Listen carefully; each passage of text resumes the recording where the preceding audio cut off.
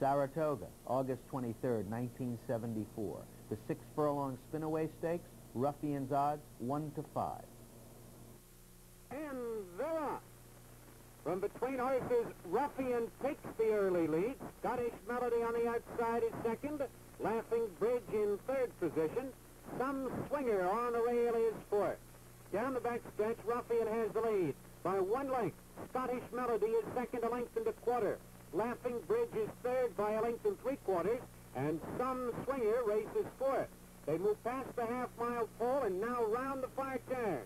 Ruffian draws away to lead by two and a half as Laughing Bridge takes over second position by a length and a quarter. Scottish Melody is third by six lengths. Some Swinger is fourth as they come to the top of the stretch. Ruffian in command by two lengths. Laughing Bridge now second by three.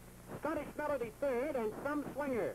The quartet straightens away in the stretch. Ruffian in front by three and a half lengths. With Laughing Bridge is second. The Scottish Melody on the inside third. And Some Swinger is fourth. Coming to the 16th pole, Ruffian now draws away to lead by eight. By 10, it's Ruffian going easily in front. A magnificent performance as Ruffian.